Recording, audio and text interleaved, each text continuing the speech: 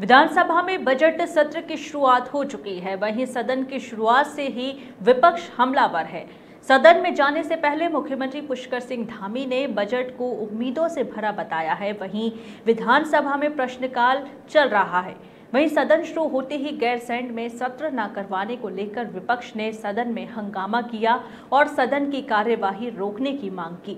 विधानसभा अध्यक्ष ने नियम अट्ठावन के तहत इस विषय को सुनने का आश्वासन दिया। वहीं इसके अलावा हरिद्वार ग्रामीण से विधायक अनुपमा रावत ने सिंचाई मंत्री सतपाल महाराज को घेरा।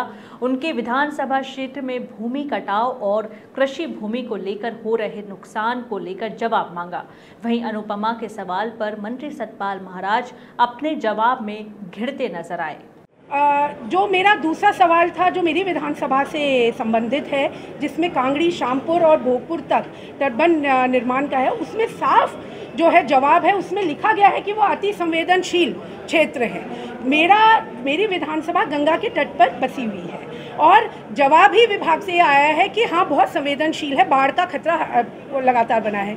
मंत्री जी, उसका जवाब देने की जगह पूरा लंबा चौड़े बात कर रहे हैं और जो मूल सवाल है, उससे बच रहे हैं। लगातार देखा गया कि उससे बच रहे हैं और उस पर हमने घेरा।